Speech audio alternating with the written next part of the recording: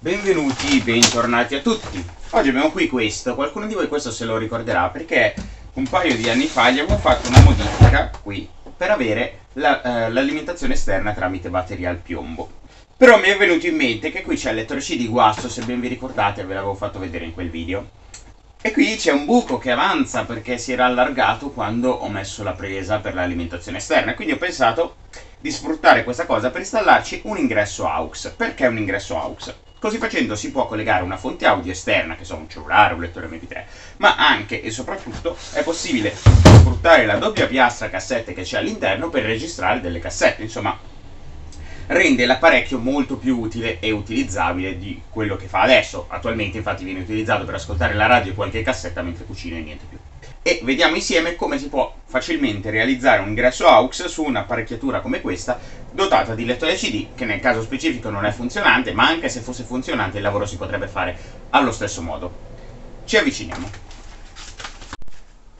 Eccoci qua. Sul retro andiamo a svitare le viti che sono un'infinità 1 2 3 4 5 6 7 8 9 10 allora prima togliamo il cavetto che ci ingombra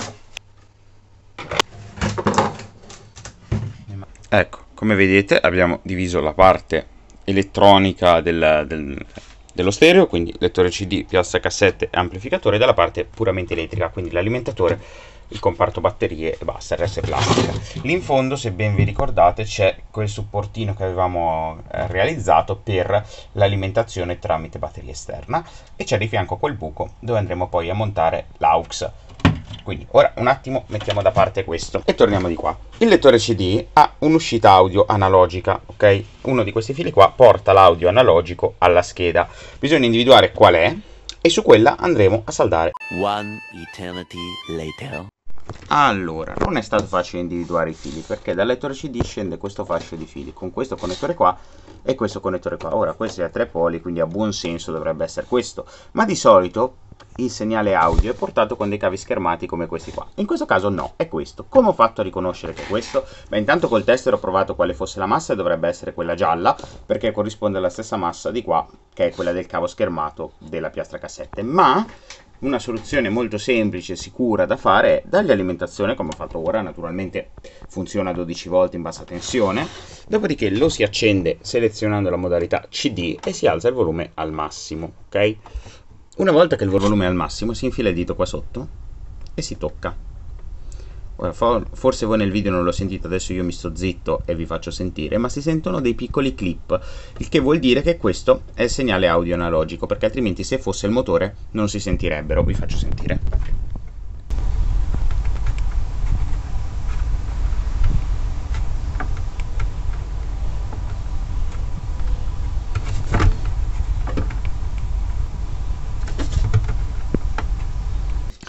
Punto possiamo staccare il cavetto di alimentazione, riaprire tutta la baracca e sapendo che questo è il segnale audio lo andiamo a staccare dall'altro capo, cioè dalla parte del lettore CD e portare fuori per collegarci le prese e provare con un segnale audio se effettivamente la cosa è funzionante.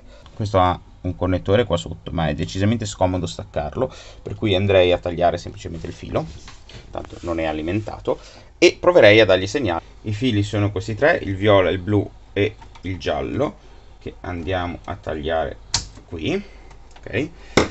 Li sfiliamo il più possibile e andiamo a spelarli. Ora il giallo dovrebbe essere la massa come faccio a saperlo? Perché ho preso il tester ve lo faccio vedere messo in prova di continuità ok? Lo vado ad appoggiare qui sul giallo e tocco la massa del segnale audio. Come vedete va a zero e suona mentre questi due dovrebbero essere rispettivamente canale destro e canale sinistro. E poi scopriamo anche lì quali sono. Prima di metterci a saldare li spediamo e prendiamo un cavetto di prova che io ho già pronto che sarebbe questo qua che da un lato ha un mini jack e agli altri due capi ha dei fili liberi proprio per provare queste cose. Quindi prendiamo un canale solo per il momento colleghiamo questo qui il nero con il giallo che abbiamo detto essere la massa l'altro lo proveremo sui due lì. Ora un Walkman a cassette con la nostra solita cassetta di musica senza copyright la mandiamo in play ok? Ora dobbiamo dare alimentazione naturalmente a tutta la baracca qua vedete? Il canale funziona. Ora il volume naturalmente è basso ma apposta.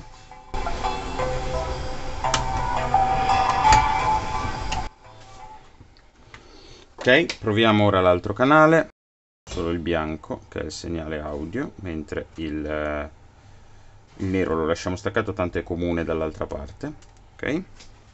E proviamo a ridargli i suoi 12 volt quindi con il più di qua.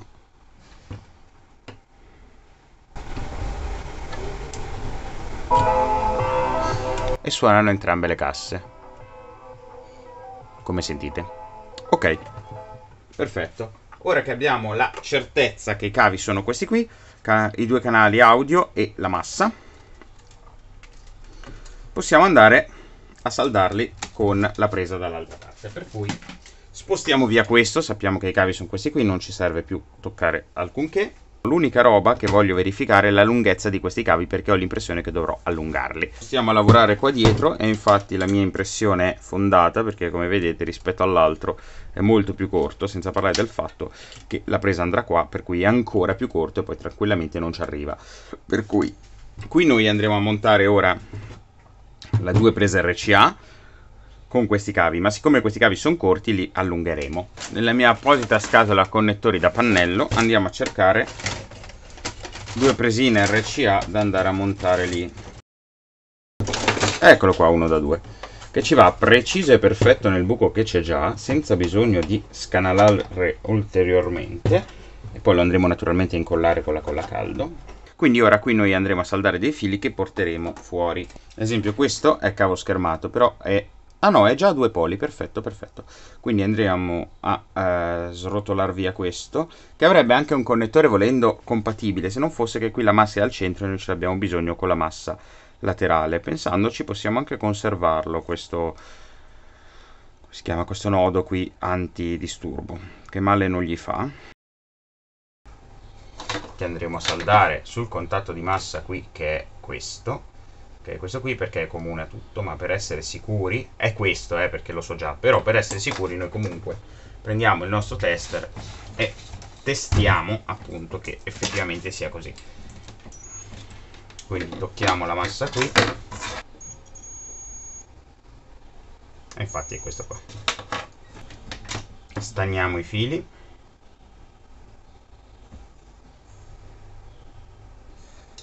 Soprattutto la massa che è quello di sezione più grossa e che quindi si fa naturalmente più fatica a saldare e andiamo come si diceva a saldarli.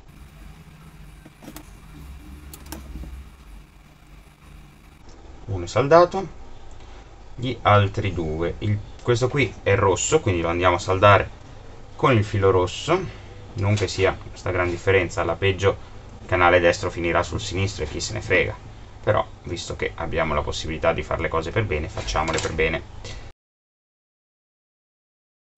Poi lo incolleremo come abbiamo fatto qui in modo che non ci sia rischio che si sposti e che se ne vada per i fatti suoi cerchiamo di metterlo quanto più possibile dritto perché naturalmente più lo mettiamo dritto a parte l'effetto visivo che è sicuramente più bello ma rimane il fatto che se lo mettiamo dritto sta incastrato nelle plastiche e sta più fermo. Vedo già che così non farà ben contatto lo spinotto poi quindi è meglio spostarlo un pochino più in là. Meglio ancora sarebbe fare due fori e far uscire solo i connettori e non tutta la struttura. Ma visto che il foro qua c'è già volevo sfruttare quello per quanto possibile. Su questo invece andiamo a saldare questi fili qua naturalmente avvalendoci della guaina termorestringente manca a dirlo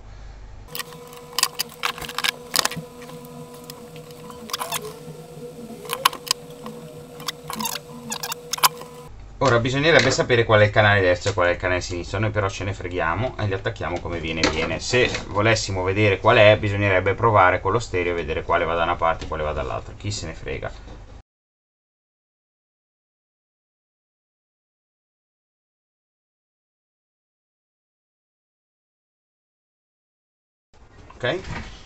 A questo punto proviamo tutto l'insieme e poi incolliamo questo.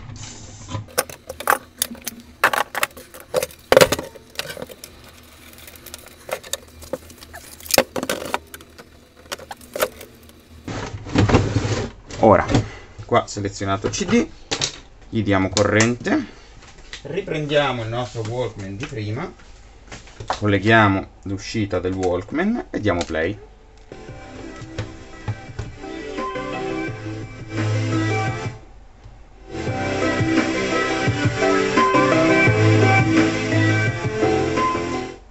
si sente perfettamente da entrambi i canali. Facciamo anche una prova di registrazione prendiamo una cassetta. Proviamo a registrare.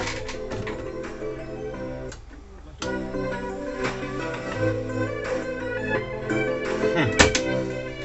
c'è un problema. C'è un problema. Questa piastra cassette non registra se non riceve il segnale di enable dal lettore cd questo è un problema perché bisogna capire come il lettore CD gli manda quel segnale.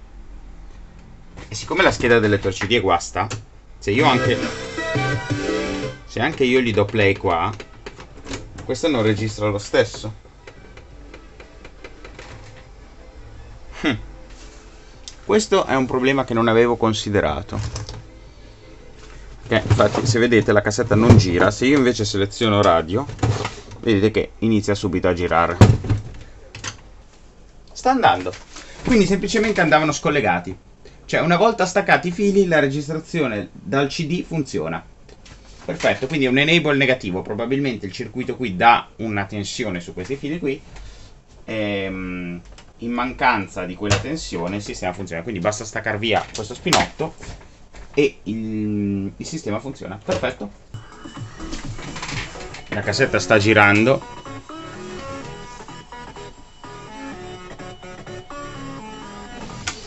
stoppiamo, riavvolgiamo. Ah certo. Mangiare. Giustamente se non seleziono cassetta cosa vogliamo sentire? No, no, no, no, no. Si sente perfettamente. Tra l'altro ha l'autoaggiustamento del volume d'ingresso, quindi come vedete la registrazione è ottima.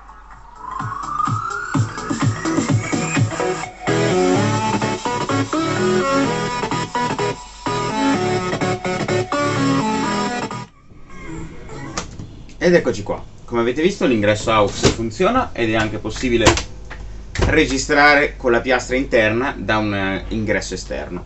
Per cui la cosa più difficile è stata individuare i vari pin, ma come avete visto non è stato poi così complicato e quindi ora abbiamo un, uh, uno stereo con doppia piastra cassette e ingresso AUX invece del suo lettore CD interno che non funzionava. Vi ringrazio per aver seguito il video, vi lascio qua di fianco degli altri video da vedere e noi ci vediamo la settimana prossima con un altro video. Ciao!